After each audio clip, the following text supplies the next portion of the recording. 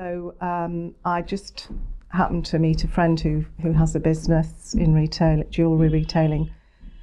And um, she said to me, Would you like a job?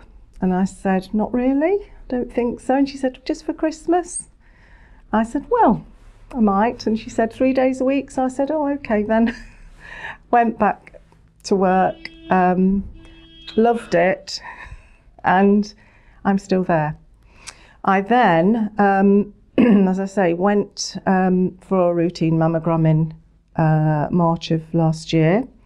Didn't think anything about it, and um, a week later was called uh, back with a, some sort of problem, and I thought it would just be a technical problem on the film. Um, when I got there, I was told I would need to see a doctor straight away, and um, she said to me, Do you know why you're here? And I said, Well, I think there's a technical problem of some sort.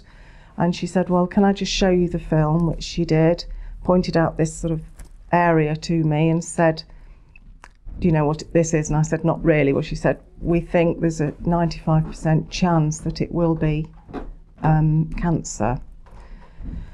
So that was a massive shock actually because I hadn't even thought about that. I'd just naturally assumed it would be okay.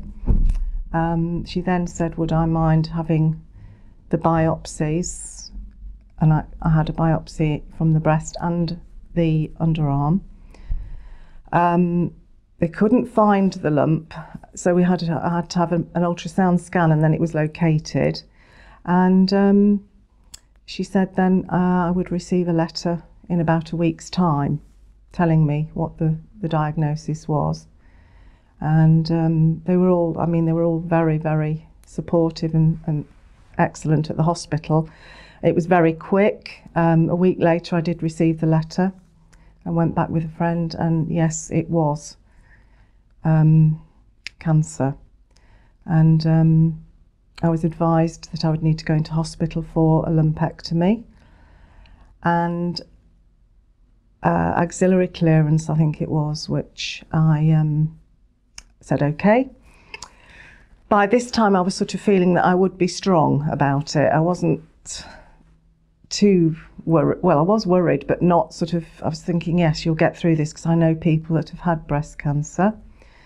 But I went to see my GP because of my history of depression, and she knows me so well, and she's been so supportive over the years. And she said to me, I think we ought to put you onto um, your antidepressants now, a low dose, just to sort of help you. And I agreed readily. Uh, so that's what we did. And um, then, of course, as, as the sort of whole thing started to roll, I went into hospital. That was fine, had the op which wasn't as bad as I thought it would be. I was lucky, I was sort of like the first patient down there. Um, my brother and family were very supportive. My brother had said to me, Right, I'm going to get you through this, you will be absolutely fine. Um, and I sort of believed in him, and I thought, yeah, I am going to. And my daughters did as well, everybody did. But unfortunately, my body chemistry doesn't seem to work like that, what I think.